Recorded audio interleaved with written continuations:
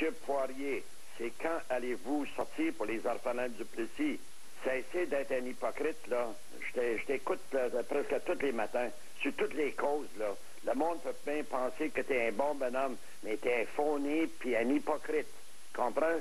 Les vraies choses, là, c'est le dossier des orphelins du Plessis. Comprenez-vous, là, monsieur, là? C'est concernant les, les, argents recueillis lors des descentes de drogue ou euh, les ventes, l'argent sale, autrement dit. J'aimerais savoir, moi, ma question, c'est que qu'est-ce qu'ils font ces, ces millions-là qui collectent, puis la contrebande, puis en tout cas, moi, euh, ça m'intrigue. Puis si vous pouvez euh, répondre, je l'apprécierais beaucoup. Je voulais simplement vous dire qu'en tant que téléspectateur, j'apprécierais si vous aviez le même verbe et la même hargne vous parlez des criminels, des motards criminalisés ou encore des membres de la mafia, les mêmes termes, les mêmes termes crus que vous utilisez avec un jeune chauffeur de 18 ou 19 ans qui tue quelqu'un au volant ou quelqu'un d'autre. Parce que quand vous parlez des motards et des gens du milieu de la mafia, c'est drôle comme, en quelques secondes, vous changez, vous devenez tout doux, un peu peureux. Alors, si vous n'avez pas les couilles, M. Poirier, pour faire le travail, alors ne le faites pas pour personne de ce milieu-là. Bon, alors, on va répondre. D'abord, quand est-ce parler des orphelins du Pélici? J'ai parlé à ce monsieur-là. D'abord, je lui ai pas donné le droit de me juger. J'ai dit, quand on est imbécile, on est imbécile longtemps. Alors, ce que j'ai dit à ce monsieur-là, j'ai dit, quand il va y avoir de quoi de développement dans les orphelins de Duplessis, été un de ceux qui est allé très loin dans le dossier des orphelins de Duplessis à plusieurs reprises. J'ai même interrogé leur porte-parole. Ce que j'ai su, là, c'est que les orphelins de Duplessis ont rencontré il y a quelques jours des membres de la Commission des droits de la personne. Quand il y aura de l'actualité, comme j'ai dit à ce monsieur-là qui s'était calmé, j'ai dit, monsieur, quand vous aurez des développements, puis il y aura des développements dans le dossier des orphelins de Duplessis, au niveau judiciaire, j'en parlerai. On ne parle pas de choses parce que ça fait le plaisir d'une ou deux personnes. Moi, j'y crois. Ces gens-là, des orphelins de Duplessis, ils ont été bafoués. Ils ont été victimes d'agressions quand ils étaient jeunes. Et j'ai été le premier à en parler beaucoup à une certaine époque. Qu'est-ce que fait la police avec l'argent du crime organisé? Exemple, ils ont reçu 2 800 000 dans deux valises. La GRC, sur la rue Westmont, sur la rue Dorchester-Westmont. Ces argents-là sont confisqués, ça appartient au gouvernement. Quand on fait des saisies, autant au provincial qu'au fédéral, mais surtout au provincial, on donne une partie de ces argents-là à des organismes qui s'occupent de la prévention, puis la balance s'en va aux autorités policières. Vous savez, des opérations policières, ça coûte énormément cher. Concernant la troisième personne, quand vous parlez du crime organisé, vous êtes tout doux. Monsieur, j'ai été le premier à dire que ça valait la couchette entre la couronne et la défense dans le dossier de l'opération Colisée.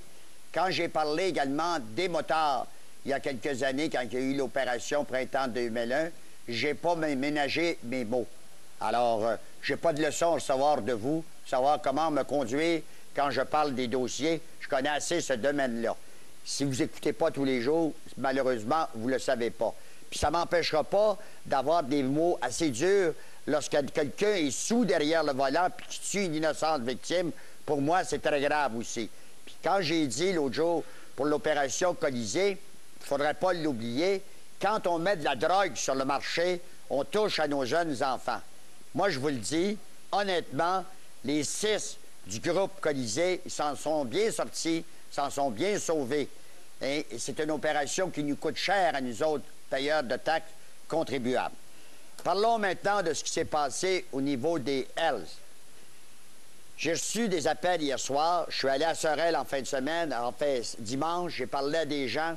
Je m'adresse à la personne qui m'a appelé pour me donner des informations, qui se dit un agent codé, un informateur de la Sûreté du Québec, qui m'a parlé que ce, dossier-là s'est préparé depuis six mois, qui m'a laissé sous-entendre que ce sont des membres, autrefois membres des L et des clubs affiliés, qui n'étaient pas heureux ce qui s'est passé. C'est sûr que lorsqu'on a décidé de donner 200 nouvelles patchs à des anciens ennemis, à savoir les Rock Machines de l'Ontario, à laquelle j'ai assisté à cette époque-là au bunker des Hells à Sorel, il y a des gens qui ont été tassés et qui n'ont pas été heureux. Est-ce que c'est un coup, sans être une purge de l'intérieur, Est-ce que c'est des gens frustrés? Si je me fie à- au propos de ce monsieur-là qui m'a laissé des messages, qui m'a dit, moi, je suis un agent, un informateur codé, puis il m'a dit, j'ai donné de l'information. Bien, à date, là, après avoir vérifié ça, monsieur, j'ai des réticences. Alors, si vous êtes à l'écoute ce matin, donnez-moi un peu plus de détails. Puis si vous me faites confiance, laissez votre numéro de téléphone. J'aurais pu passer votre, votre voix. Je ne l'ai pas fait. Je l'ai gardé dans la boîte vocale. Alors, si vous voulez, vous avez plus de détails, ben, vous m'en donnerez. On va parler à deux personnes, mais la première personne, on va parler avec euh, Jean-Pierre Lévesque, qui a été spécialiste des motards, qui est retraité aujourd'hui de la GRC. Monsieur Lévesque, bonjour. Bonjour, M. Poirier. Quand vous avez appris que le bunker DL, parce que c'est un symbole, c'est plus qu'un bunker, à Sorel a sauté, quelle a été votre réaction? Ben, un peu comme tout le monde, euh, très surpris. Comme vous l'avez dit, c'est un symbole. là. Ça a été le, premier euh, bunker euh, réel que les Hells ont, mis sur pied au début des années 80 euh, au Canada.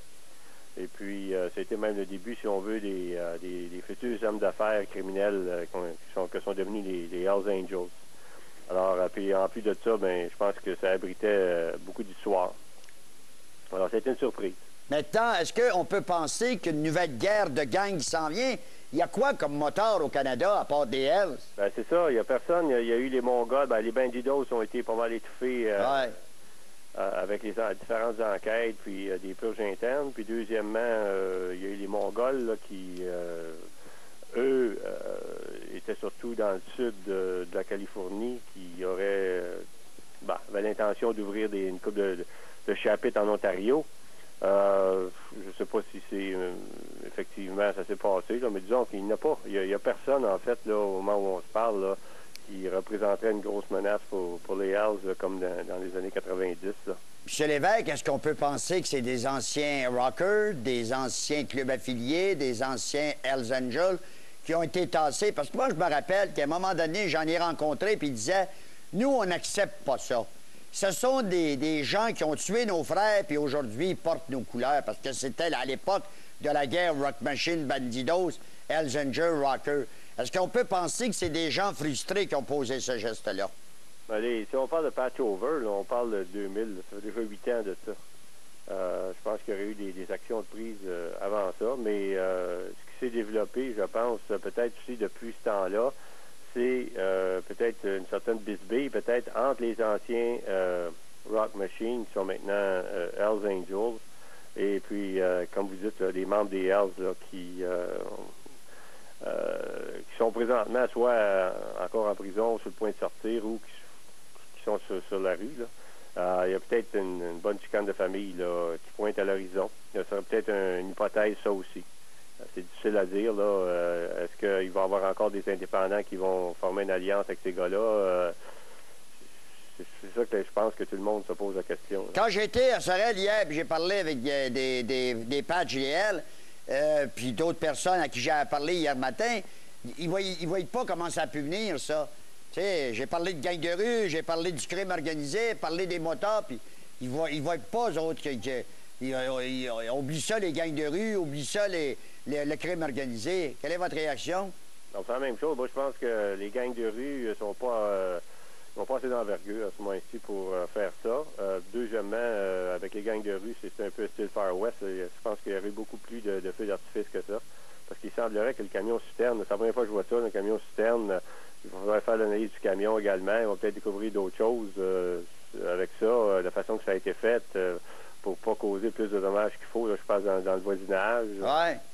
Alors, c'est toutes, des- toutes des questions encore qui restent à être euh, Non, résolues. M. Lévesque, c'est pas une affaire qui s'est préparée ce samedi soir, samedi après-midi, le coin d'une table dans, dans une brasserie, ça. Non, C'est- certain, ça. C'est pour ça que quand le monde dise, euh, ce serait-tu parce que euh, relié aux, aux affaires de, de explosif, là? explosifs, là, Non. ben, je ne penserais pas, je veux dire, euh, parce que là, ça, c'est quoi, les arrestations, tout ça a été fait en fin de Ben ouais. semaine, je veux dire. euh, je pense que ça date de plus longtemps que ça, parce qu'on parle, comme j'ai dit, il y a beaucoup d'histoires dans, dans le clubhouse. euh, c'est ça que c'est- intriguant de savoir ce qui s'est passé réellement. Parce que, vous savez, les, les personnages importants qu'il y avait autrefois, qu'on a appelés les six, puis les nomades, prenons le cas de Mom Boucher, ça a plus beaucoup d'impact sur le terrain, ça, ça, ça se fait, hein? Ah ouais, c'est ça. Exactement. Euh, comme Mom, euh, tout ça, c'est- c'est c'est- c'est- c'est- c'est chose du passé, là, on Ah ouais. chose, là. Ça passe vite hein, quand t'es chef d'un groupe, tu t'en vas dedans, là, les, les, frères te laissent tomber souvent. Hein? Bien, surtout dans, le contexte actuel, oui. La façon que Mme Boucher avait à l'encontre de tout le monde. Tout le monde lui disait de, mettre la pédale douce un peu. Euh, ça, a donné, à cause de lui, évidemment. Euh, la loi anti-gang et compagnie. Anti-gang et compagnie, tout ça. Là, fait que c'est sûr qu'il n'y a pas. Euh, il avait pas seulement que des. des amis. Admirateurs, ouais. ouais. Merci, M. Lévesque, de votre collaboration. Ça fait plaisir. Au revoir, Jean-Pierre Lévesque, spécialiste des motards, retraité de la GRC. On va aller rejoindre maintenant Éric Nadeau, un ex-agent infiltrateur qui a fait un livre il y a quelques années. M. Nadeau, bonjour. Bonjour. Bon, vous, euh, on s'est parlé hier. Euh, qu'est-ce que vous retenez de tout ça? Ben, l'affaire, le, le, je, le pire, je pense aux citoyens, je pense aux, belles années de la guerre qu'il y a eu. Euh, est-ce que, est-ce que, est-ce que, est-ce que ça va, on, va revivre un, autre épisode de, de, de, la guerre? Je sais je, m'attends, je m'attends, je m'attends, je m'attends, je m'attends à une riposte assez vite. Une riposte, ça dépend de où ça vient aussi, parce que je suis un peu d'accord avec euh, Jean-Pierre Lévesque. Pas beaucoup de monde qui peut s'en prendre aux Hells au Canada au niveau des moteurs criminels. Justement, il n'y a pas vraiment de groupe identifiable, puis euh, il faut quand même être prudent, c'est sûr. Prudent à savoir, c'est qui les, les, responsables pour tout ça, mais quand même, dans ce milieu-là, ça va quand même assez vite. C'est sûr et certain que qu'on s'est attaqué une grosse chose, l'emblème, là, c'est le symbole même de la maison mère des Est-ce que vous pensez, M. Nadeau, vous qui avez œuvré dans ce domaine-là, vous avez été un ex-agent infiltrateur, vous avez vous en payé la note aujourd'hui en maudit au niveau de votre famille, puis tout ça, tout le monde au niveau de la police vous a laissé tomber. Est-ce que vous pensez que ça peut être des gars frustrés qui ont décidé de dire, parce qu'il y ont jamais, il y en a qui n'ont jamais accepté que des anciens euh, ennemis jurés portent les couleurs des Hells, hein? Mais ça, c'est sûr, euh, les, les, les, gens trouvent ça dur de, de voir, comme je vous avais dit plus tôt, les gars, ils ont tué leur frère, puis après ça, ils portent leur couleur aujourd'hui. Puis, euh, moi, en tout cas, moi, j'accepterais pas ça personnellement, là, je serais dans leur peau. C'est des transfuges, ces gars-là, tu sais. Fait que, euh, ils n'oublient pas que bien des gens sont, ont été en prison pour s'avoir battu pour, des couleurs. Puis là, euh, aujourd'hui, ils portent les couleurs de ceux qui faisaient la qui, qui étaient le, rivaux par le passé. Moi, je, je, moi, je m'attends, je m'attends, je m'attends, je m'attends à ce que les téléphones sonnent beaucoup, autant au niveau de renseignement policier qu'entre membres des Hells Angels. Mais euh, c'est une affaire qui a été planifiée, pas au cours des dernières heures. Ça doit faire longtemps que ça se préparait. Oh, oui, non, c'est sûr, c'est planifié. Là. avant qu'un coucou commence à reprendre un camion stun et rentrer dans un bunker, quand même, là, euh, premièrement, euh, en tout cas, moi, moi je trouve ça. Moi, je, je, je, je plains des gens de Sorel, là, parce que je, pense beaucoup aux citoyens. Là. Mais chanceux, les citoyens, puis, puis chapeau aux pompiers de Sorel, puis aux autres euh, services d'incendie des arrondissements qui, qui, ont quand même maîtrisé l'incendie euh, au bunker. Oui, ça c'est sûr certain. Que il y a quand même eu trois incendies dans tout ça. C'est pas rien. Non. Comme je vous dis, c'est tout, tout, un, tout une frappe. En tout cas, je m'attends je m'attends et je prévois une riposte. Une riposte si on pense que ça vient de l'intérieur, si on pense que ça vient comme quelqu'un m'a laissé hier, puis je relance l'appel à cette personne-là, là, si c'est vrai que ça s'est planifié depuis à peu près six mois, qu'on a profité justement du sommet de la, francophonie à Québec, on savait qu'il y avait moins de policiers disponibles. Si ça a été fait par des ex-membres ou des personnes qui ont déjà été des clubs affiliés, il va y avoir une riposte, ça c'est sûr et certain. Ah, ça c'est sûr, mais moi je crois, crois pas vraiment que, ça vient de l'intérieur. J'aimerais juste spécifier aussi, peut-être je m'ai mal exprimé, euh, je crois plus que, que, je dis pas que les, les, d'un jour les policiers se parlent. Je, dis que les, les, services de renseignement, le téléphone ne doit pas, doit pas déroger, autant que les, que, que, les cellulaires des Hells Angels doivent avoir des gros meetings qui doivent se faire un peu partout. Là. Merci, M. Nadeau. Merci à vous. Bonne Au revoir, Éric Nadeau, ex-agent infiltrateur dans le milieu des motards. On s'arrête.